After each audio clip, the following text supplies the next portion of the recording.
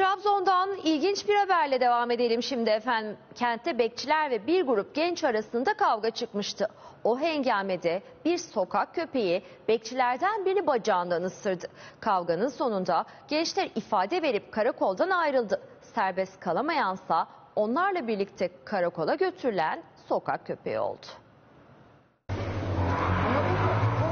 İki taraf birbirine giriyor. Bu arada da köpek e, nasıl olduysa artık bekçiyi ısırdığı iddia ediliyor.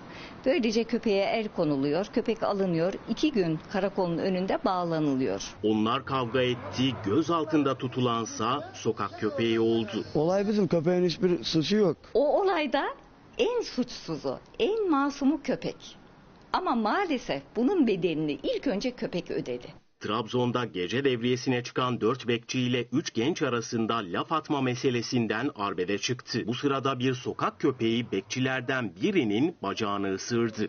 Bizim tahminimiz oradaki kaostan bir şekilde köpek etkilendi. Gençlerle birlikte sokak köpeği de karakola götürüldü. Kavgaya karışanlar serbest kalırken köpek silah olarak nitelendirildi. İki gün gözlem altında bekletildi. Köpek bizim değil. Biz saldırı emri de vermedik. Köpek tamamen suçsuz. Olay bizim olayımız. Siz köpeği niye katıyorsunuz dedik. Gerçekten de köpek karakolun önünde bağlı bir şekilde duruyordu.